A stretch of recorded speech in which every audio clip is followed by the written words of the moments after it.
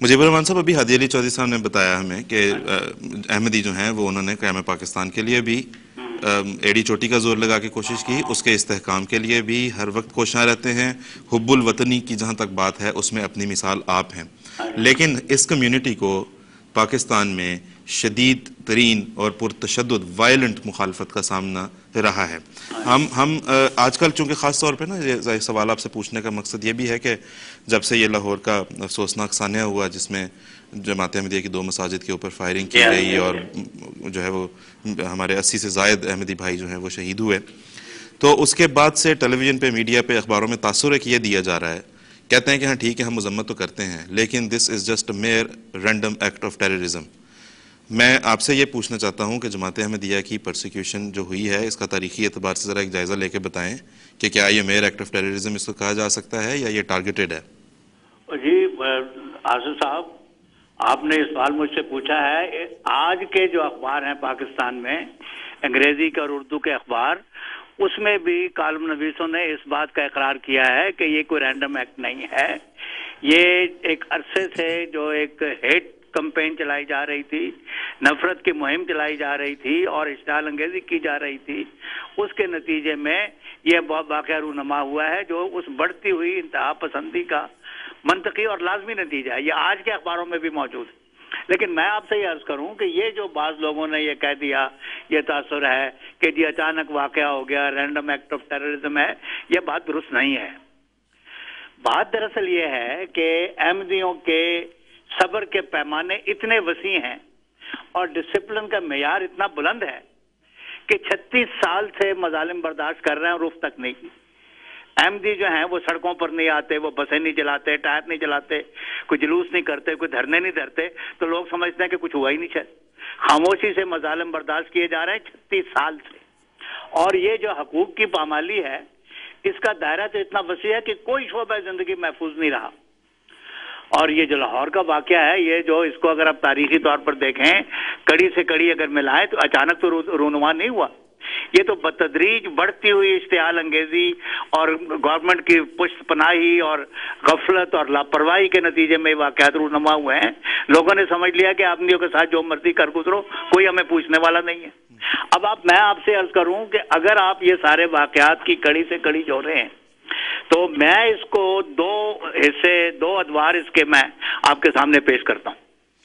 एक दौर है सन चौहत्तर से लेकर सन चौरासी तक का, और एक दौर है सन चौरासी के बाद। सन चौहत्तर में भुट्टो साहब ने क्या किया कि उन्होंने अहमदियों को चौहत्तर में एक असेंबली की कार्रवाई के ज़रिए से और एक सियासी शोबदाबाजी के ज़रिए से गैर मुस्लिम करार दे दिया। भुट्टो साहब कोई मजहबी आदमी तो नहीं थे, वो तो सेकुलर आदमी थे, उनको मज़हब से क्या गर्ज थी? वो तो अपने सियासी अजायम की खातिर ऐसा कर रहे थे। भुट्टो साहब के सियासी अजायम तो पूरे नहीं हुए। मगर कौम में मजहबी इंतहा, पसंदी और तशद के रुझानात को ऐसा फरोग मिला और एक ऐसा दरवाज़ा खोल दिया कि मजहबी तशद का सैलाब उमड़ आया। आज जो हमारी नई नस्ल है उनके तो शायद कान में ये अजान पड़ती है, आवाज़ पड़ती है। पैदा होते ही कि जी अहमदी मुसलमान नहीं है। मगर चौहत्तर में जो मेरी नस्ल के लोग थे, जब अहमदियों को गैर मुस्लिम करार दिया गया तो अवाम ने तो इसको एक सियासी खेल के सिवा कुछ नहीं समझा। अहमदी इसी माशरे में रहते हैं, उठते, बैठते हैं, उनकी नशिस्त बर्खास्त को देखते हैं, उनकी इबादत को देखते हैं, उनके चाल चलन को, रवैयों को देखते हैं। लोगों को पता था कि अहमदी क्या है। किसी को कभी ये शक नहीं हुआ कि अहमदी मुसलमान है। और वो ये जो है एक सियासी फैसला किया गया। लोगों ने उसको एक सियासी फैसला समझा। लेकिन हुआ यह है कि आम लोग ये समझकर खामोश हो गए कि चलो, एक सियासी फैसला हो गया है। रोज रोज का मजहबी झगड़ा जो है शायद खत्म हो जाएगा और शायद इसी इसी बहाने से शायद इंतहा पसंदी जो बढ़ती जा रही है वो रुक जाए। लेकिन ये जो इंतहा पसंद थे, उन्होंने तो भुट्टो को इस्तेमाल करके तशद पसंदी का रास्ता खोल लिया। और उन्होंने ये पक्का समझ लिया कि एतदाल पसंद कुवतों पर और जमहूरी कुवतों पर हमने गलबा पा लिया। और बात यही है कि उन्होंने समझा कि हमने भुट्टो जैसा आदमी और जमहूरी कुवत जो है, हमने उसको पछाड़ लिया है। अब हम मज़हब के नाम पर जो मर्ज़ी खोल खेलेंगे, हमें कोई रोक नहीं सकेगा। तो ये तो हुआ चौहत्तर में। जब चौहत्तर में ये फैसला हो गया तो फैसले में एक इंतहाई तकलीफ़ दे बात यह थी अहमदियों ने इतना बड़ा जुल्म अपने ऊपर बर्दाश्त किया और इतना बड़ा सीने पर जख्म खाया और खामोशी इख्तियार की। लेकिन इस इतने बड़े जुल्म के बावजूद अहमदियों पर यह पाबंदी नहीं थी कि वो अपनी इबादत ना बजा लाएँ या अपनी मस्जिदों में ना जाएँ, अपनी नमाजें ना पढ़ें और अपने तरीके से अपने मज़हब पर अमल ना करें। ये पाबंदी नहीं थी। एक डिक्लेरेशन था कि जी मुसलमान नहीं है। तो ये जो था, उसके नतीजे में मौलवियों ने ये किया कि एक रास्ता खोल लिया। चौहत्तर की तरमीम के नतीजे में अहमदी इबादत पर पाबंदी आयद की गई अहमदी मसाजिद पर दर्जनों की तादाद में मुकदमात किए गए जो हाईकोर्ट में पहुँचे।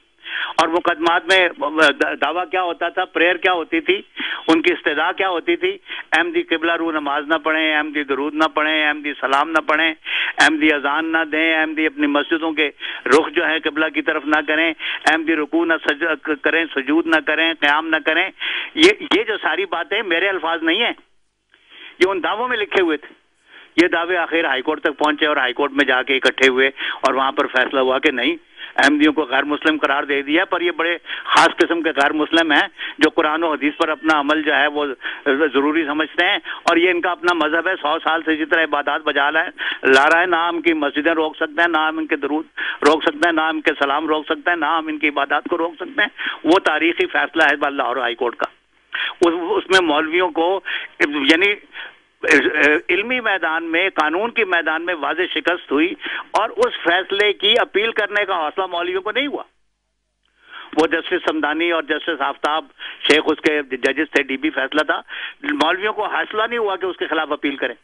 तो ये एक दौर जो था, इस दौर में अहमदियों के दाखिलों पर पाबंदी हुई, अहमदी तालब इलम टॉप ऑफ़ द लिस्ट पर आए, मेरिट के ऊपर उनको दाखिले नहीं मिले। हमारे पास तालब इलमों को सुप्रीम कोर्ट में जाके दाखिले तक के लिए जाना पड़ा और सुप्रीम कोर्ट के एक जज ने कहा, ये क्या कर रहे हो? मौलवियों से कहो, अल्लाह से दुआ करे, इनके जहन छीन ले।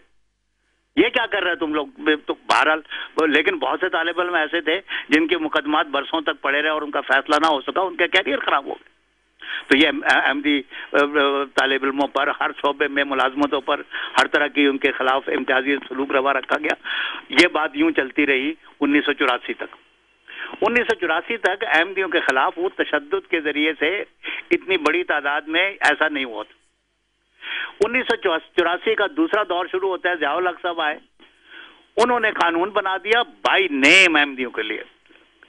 कानून साजी की तारीख में ऐसा कभी नहीं हुआ कि किसी तबके को बाई नेम सिंगल आउट करके कानून बनाया जाए।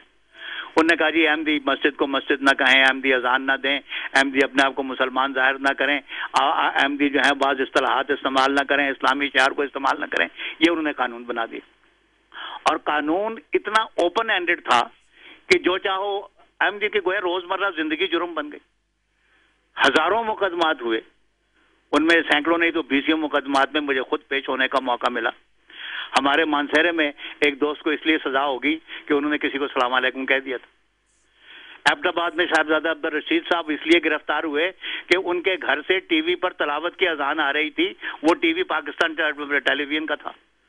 वो क्योंकि इनके घर से कुरान शरीफ पढ़ने की आवाज़ आई जो टीवी पर थी। उन, उनको उनको कैद किया गया।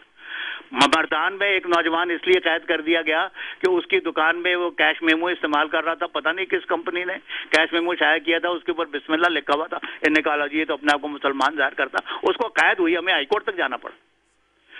पिशावर में एक टेलर मास्टर को इसलिए सजा हो गई कि उसकी दुकान में किसी कंपनी का छपा हुआ कैलेंडर लगा हुआ था, उसके ऊपर लिखा था, वल्लाह खैर राजकी भाई वो अल्लाह से रिस्क मांग रहा था, उसके ऊपर उसके ऊपर मुकदमा बन गया, उसको सजा हुई। हमें हाईकोर्ट तक जाना पड़ा। और मौलवियों ने घेराव करके अदालत के बाहर हजूम लगा दिया और उस जज ने आके हाईकोर्ट में फैसला, हाईकोर्ट के जज के सामने बयान दिया कि जी मैं क्या करता, मेरे बाहर तो जुलूस लगा हुआ था। मौलवी धमकियाँ दे रहे थे। मैंने तो डर और खौफ में फैसला लिख दिया इसलिए फैसले में बहुत सारे ब्लैंक्स भी रह गए। तो हर हर सतह पर अहमदियों के ऊपर जुल्म किया गया। और तो और कहते हैं कि इंसान मर जाता है तो उसका एक एहतराम होता है। मैयत का एहतराम दुनिया के हर मज़हब में होता है। हमारी खबरों, हमारी कब्रों की तदफीन से रोका गया कब्रों को उखेड़ा गया। और पुलिस की मौजूदगी में, डीसी की मौजूदगी में हमारी कब्रें उखेड़ी गई। तो इस हद तक तो हमने जुल्म बर्दाश्त किया और बर्दाश्त करते चले गए। तो लोगों ने ये समझ लिया कि जी अब तो हम जो चाहें कर लें। और अहमदियों की मसाजिद से ये छैनियों से अथाड़ों से कलमा मिटाया गया। किसी अहमदी ने अपने हाथ से नहीं मिटा के दिए। अहमदी कत्ल किए गए। और मुलजिम दंदनाते फिरे। 109 अहमदी कत्ल हुए हैं चौरासी से लेके अब तक। लेकिन कोई एक मुलजिम भी अल्लाह माशाल्लाह कोई मुलजिम पकड़ा नहीं गया। कोई परवाही नहीं करता। ननकाना साहब में वाक्य हुआ ह्यूमन राइट्स कमीशन वालों ने गवर्नमेंट ऑफ़ पंजाब को लिखा कि जी आप अपना कमेंट दें उन्होंने जवाब ही नहीं दिया। चक सिकंदर में वाक्य हुआ? गवर्नमेंट ने लोगों की बहाली का कोई सब फ़िक्र ही नहीं किया कई साल तक। मोंग रसूल में वाक्य हुआ गवर्नमेंट ने परवाह नहीं की। नतीजा हुआ कि फिर वो गोजरे में ईसाइयों के ऊपर और दूसरे जो ईसाइयों के बस्तियों पर हमले हुए गवर्नमेंट ने फिर भी। तो ये जो तशद पसंदी का फरोग मिला है ये आहिस्ता आहिस्ता मौलवियों को शह मिली है कि हमें कोई पूछने वाला नहीं और अब तो वो फिर पुलिस पर भी हमले शुरू कर दिया और क्या कर दिया। और अब आगे समझा के एक बहुत बड़ा हमला उन्होंने। तो ये जो और जिस दिन ये हमला हुआ है उस दिन लाहौर की सड़कों पर इससे कुछ अर्सा पहले मॉडल टाउन की मस्जिद के बारे में ह्यूमन राइट्स कमीशन वालों ने जाके गवर्नमेंट को बताया है कि जी इनको खतरा है और ये धर्मियाँ आ रही हैं हमारे लोगों ने जाके बताया है। जी। बैनर लगे हुए थे माल रोड के ऊपर कि वाजिबुल कत्ल है और ये ये चुप करके बैठे हुए थे। तीन सिपाही थे मस्जिद के ऊपर। तो ये वाक्य जो है अचानक नहीं हो गया। ये आहिस्ता आहिस्ता आहिस्ता आहिस्ता शायद मिली है और अब इन्होंने समझा है कि हम जिस पर चाहें हमला कर दें हमें को रोकना। अब तो जी इन्होंने अस्पतालों पर भी हमला शुरू कर दिया कि जी हम अपना दहशतगर्द छुड़ा लेंगे। तो बात यह है कि अहमदियों ने बड़े सबर शुक्र से बर्दाश्त किया। अहमदी बुजदिल नहीं होता। अब देखें कि पूरी दहशतगर्दी की तारीख में सुसाइड जैकेट पहना हुआ आदमी ने, हत्या आदमी ने, पहली दफ़ा पकड़ा है और एमबीओ ने पकड़ा है। जी बिल्कुल बिल्कुल। आ- आ- और अब उससे जो है वो इतलात उनको मिल रही है ये अमल करेंगे तो कुछ होगा नहीं करेंगे तो कुछ नहीं होगा। जी ठीक तो बात ये अचानक नहीं है बड़ा सिस्टमेटिक और बड़ा ग्रेजुअल मामला है। बिल्कुल ठीक मुजीबर रहमान साहब बहुत बहुत शुक्रिया जजाकल्ला बड़ा माशाल्लाह मुजीबर रहमान साहब ने मुख्तसर वक्त में जामे इसके एनालाइज किया इस पूरी सिचुएशन को और जो है वो बताया कि किस तरह से जमात अहमदिया की पोजीशन ज़्यादा वल्नरेबल किस तरह हो जाती है पाकिस्तान की सोसाइटी में।